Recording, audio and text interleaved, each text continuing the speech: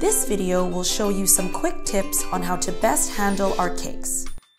Immediately put cakes into the freezer using a first in, first out system. Date products as they are received. Newly received cakes should go behind the products that were there before in order to ensure that they're sold within their best before date. In order to maintain freshness, avoid refreezing products that have been thawed out or in the refrigerator for more than 4 hours as refreezing may cause freezer burn or dryness.